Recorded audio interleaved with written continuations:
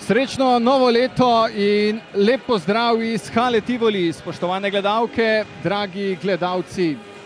Pod rožnikom čakamo na tekmo 38. kola lige Ebel. Znova je na sporedu večni derbi Olimpije in Jesenic. Ebar je pred vrati, branica sta Kovačevič in Dik. Dik se je sedaj premaknil pred gol. Kovačevič proti Hebarju, pa še enkrat Elik, makro pa vsem sami ne ena proti nič.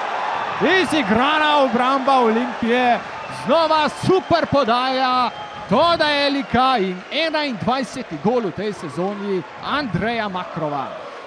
Ampak če to dobro, zdaj to jaz pač komentiram, zdaj si nič, ampak super podaja Elika, ampak je. V težave za robarja, Boštjan Goličič, vrgel se je in pa potem gol Benama. Boštjan Goličič, Frank Benam, ena proti ena v 17 minuti.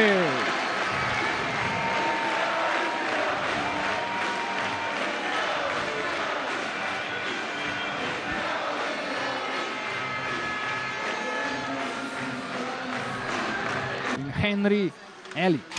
Elik nazaj proti branilcu in gol! Gol Miha Rebolja! Dve proti ena, takole se veseli železni jeseniški Miha. Jeseničani so znova v vodstvu. Dobro, tukaj le smo še enkrat videli vse tri strelce današnjega obračuna, prve tretjine, ki so jo dobili jeseničani z dve proti ena. Navi Makrov pa že preko modre črte, še vedno Makrov proti Hafnerju, Hafner 3 proti 1. Makrov tokrat v vlogi podajalca, Tomo Hafner pa tretji jeseniški strelec danes.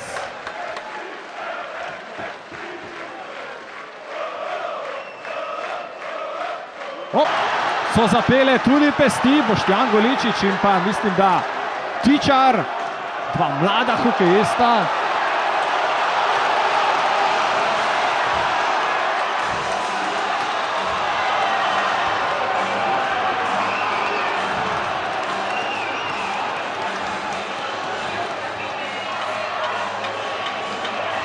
No, sedaj so posegli sodniki, eden izmed linijskih je skočil vmes.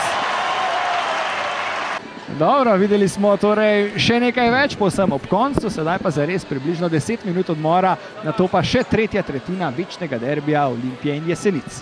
Dveh proti dvema, Juri Goličič, Benem strelja, Grome Moris odbija, Goličič je vzel ploščico, podaja v sredino in gol! Gol 3 proti 2, Žiga Pance, vse najboljše!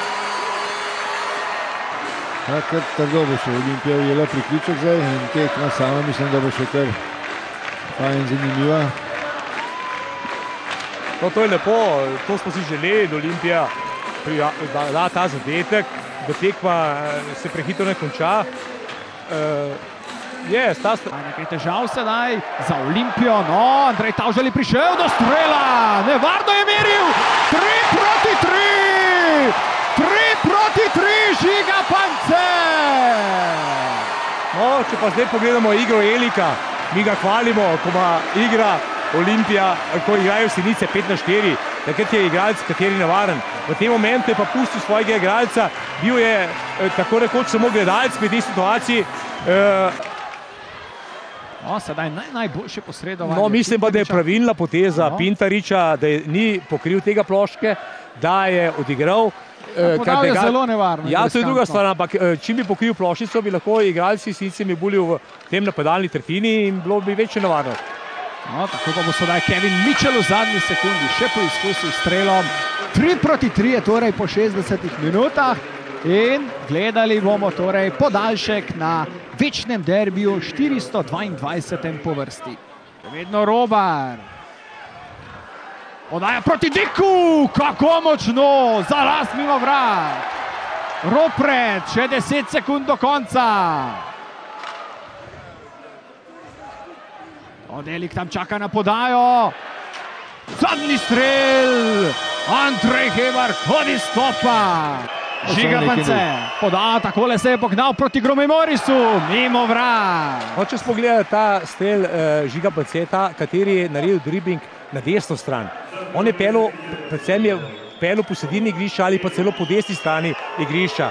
Če greš v ta dribling, se meli pelje na levo sativo, na levo sativo ne kaže strel, da imaš več prostora in ima več prostora, da daš zadetek. Sedaj pa to delik. Dva gola je doslej dosegel za jesenice, ob tem pa kar 18 asistenc. Elik in Matija Pintarič. Brez zadetka za to, da je Elika. No, uh, če tako pele, Elik, ne, in se tudi Eliku to zgodi, kateri je igralec, kateri govorimo, da ima nešteto izkušenj. Uh, popolnoma nič ni naredil, čakal je golmana, pelo je čisto mirno. Frankie Benham, prvi gol Getar lige, Benham in grobe Moris. Moris uspešnejši. Brez zadetka še v seriji kazenskih strelov. No, naslednji bo poizkusil. Prvi gol Getar jesenic, Andrej Makrov.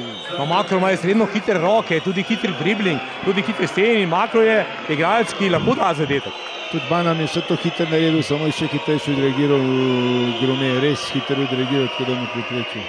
Makrov in mladi Pintarič. Makrov, gol! Je čakal, da je šel dol.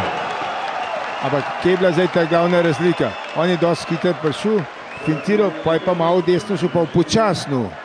On je malo počasneje se začel gibati desno in je počakal, da je šel. Se pravi, to je igra živcev, kdo bo Polegel je vratarja, streljal visoko, Juri Goličič, Goličič, brani Grome Moris, derbi je končan, železarji slavijo v Tivoliju.